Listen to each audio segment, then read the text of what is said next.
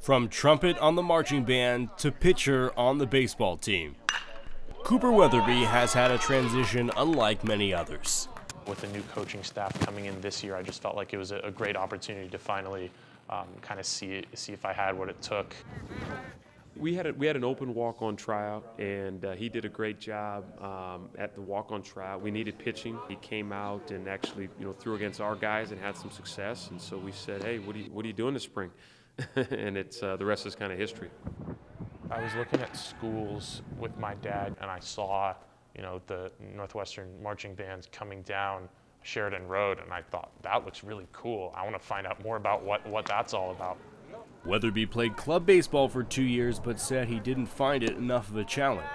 I feel like I'm really, really pushed by the guys around me in the locker room to, to be better, um, both, both from an athletic standpoint and then from an academic standpoint.